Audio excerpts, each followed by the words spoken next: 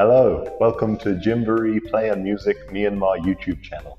I'm Teacher Fraser, and today we're going to show a science lesson that you can do with your babies at home.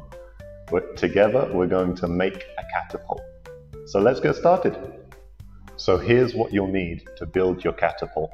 You can use some lollipop sticks. We have some styrofoam, some bottle lids, a rubber band, and maybe something like a pom-pom, something that's soft that you can use to fire your catapult.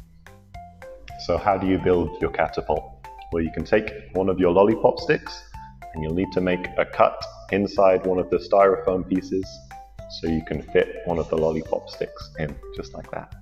And then you can take our other lollipop stick and hold it next to it.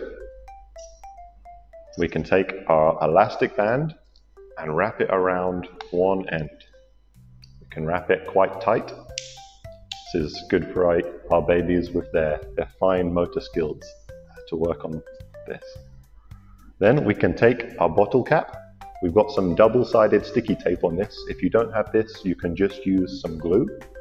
We can peel this off and we can stick it on to our catapult. And there we have it. We can hold the end, we can fire our catapult.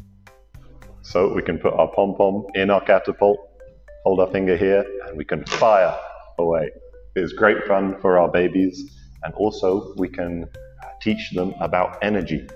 Here, when we see our, pom- our popsicle stick bend, and then we release the energy, kinetic energy that is stored in our catapult. So we can teach our babies about science, and it's also a very fun way to do it with our pom poms.